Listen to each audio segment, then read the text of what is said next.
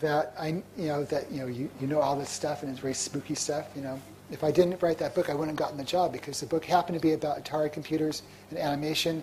And I finished it, the manuscript, about the same week that the job opened up. I mean, isn't that kind of too, too much of a spooky coincidence? So, who knows? The uh, the Caponians might have been helping me or something from Zak. okay. Any other questions? Way in the back. Uh, can say that again, please? Do I, do I remember the walkthroughs for all the adventure games? No.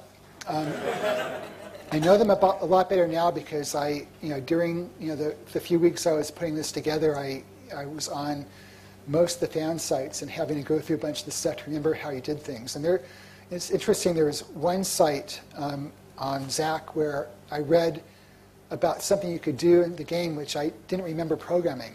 And so, wow, that was really that's really cool if I could do that. And I got a version of the game and I used ScummVM to install it on my Mac.